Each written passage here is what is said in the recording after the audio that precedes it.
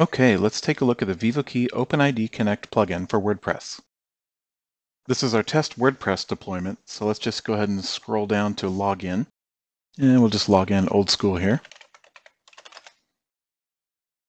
We're not going to cover how to install the plugin, but let's go take a look at it. You can see the plugin is called VivoKey OpenID Connect. Configuration is pretty simple. It's under the settings menu under VivoKey OpenID. We've made connecting your WordPress site to the VivoKey platform very simple.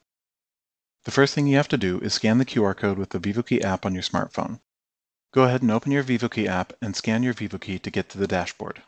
From there, tap the QR code icon in the upper right-hand corner. Place the scanning reticle over the QR code and you'll see a screen.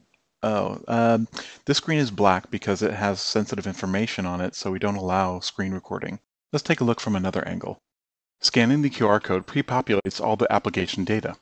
Just tap the Create App button and you're done. The client ID and secret are created on the server and then pushed to the WordPress plugin automatically. To see the updated client ID and secret, simply reload the page or click the VivoKey OpenID menu option. You can see the Quick Start section has disappeared and the client ID and secret are populated.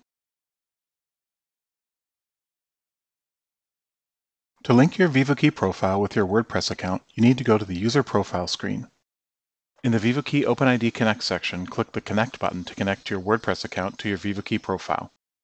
At this point, a request is made to the VivoKey API and you'll see another QR code. Just as before, open the VivoKey app and tap the QR code icon on the dashboard. Point the scanning reticle at the QR code and you'll see a login request come up on your VivoKey app. Now scan your VivoKey chip to authenticate.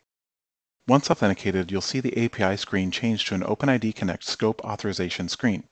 We have no scopes at this time, but you still need to authorize the ID token. Once authorized, you'll see your user profile is now linked with your VivoKey profile. Now let's go ahead and log out so we can see how the VivoKey login process actually works. You'll see that in addition to the username and password, there's now a Login with VivoKey option. This time, in addition to a QR code, you'll see your profile photo. You don't need to do anything, the VivoKey server has already sent a notification to your phone. See, there it is. Now just pull down the notification bar and tap the VivoKey login request. Just like before, scan your VivoKey to authorize the login. Once you've scanned your VivoKey, you'll be automatically logged in.